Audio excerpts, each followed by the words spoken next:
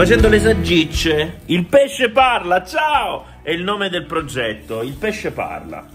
E io sono il frontman del progetto, queste sono le salsicce del progetto.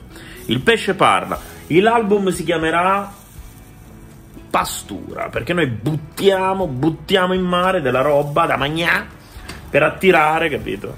Pubblico e però senza poi metterci l'amo, quindi, perché siamo buoni, non vogliamo ferire eh, chi poi abbocca, no? Quindi semplicemente diamo da mangiare, diamo da mangiare come si fa con i cigni. Poi c'è il, il, il, singolo, il singolo si chiama In Seminario, è, è una storia truce, parla di, di, di, sevizie in Vaticano da parte dei seminaristi, no? avidi di, di carne fresca, eh. queste cose brutte qua, ma il ritornello fa non finisce più di farne un tabù, no? Perché parla del fatto che questi sono eh, questi seminaristi sono così mh, mm, castrati no? a livello um, sessuale, castrati simbolicamente, cioè non possono avere rapporti, no?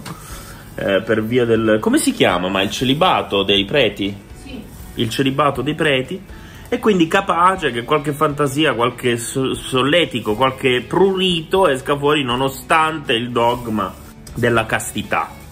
Questo. Ma, e qui viene il, la cosa curiosa, in realtà il brano nasce perché io mi sono svegliato la mattina così e ho detto non finisco più di, farne, di fare il ragù.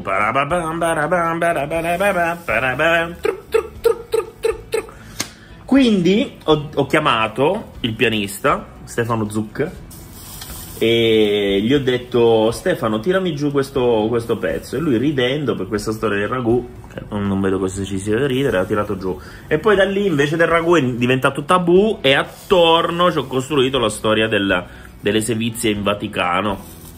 Allora il, il, il, gruppo si è sfaldato, si è distrutto, disintegrato. Siamo solo io, il bassista e poi abbiamo messo un annuncio in bacheca.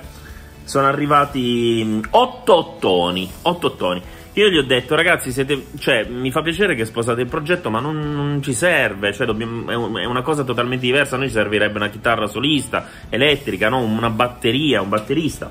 Eh, anche solo la batteria, poi che magari casca qualcosa e ogni tanto un rumore lo fa, però lo strumento vorremmo averlo.